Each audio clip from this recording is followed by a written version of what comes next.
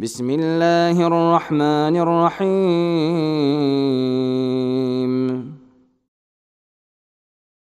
Человек почему мало размышляет над Кораном? По двум причинам.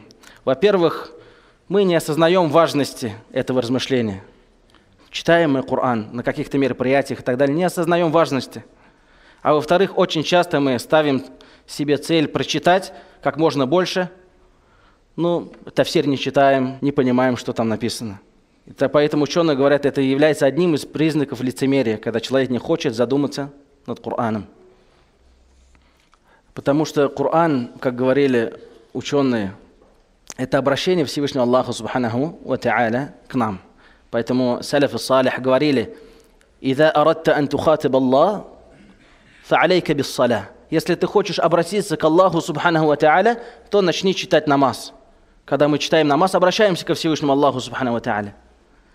وإذا أردت أن يخاطبك الله فاقرأ القرآن а если хочешь, чтобы Аллах, Субхану Ва к тебе обратился, твой Творец, твой Создатель, то тогда читай Коран и размышляй над ним, и ты увидишь в нем обращение Всевышнего Аллаха, Субхану Ва к себе. Также Ибн Каим, рахмаллах, говорит, то, что область воздействия Корана – это сердце. То есть Аллах в Коране говорит, Поясняя, разъясняющие аяты, знамения в сердцах, именно сказал Аллах в сердцах обладатели знания. То есть, когда читает человек Коран, он выходит у него из сердца, а губы только шевелятся.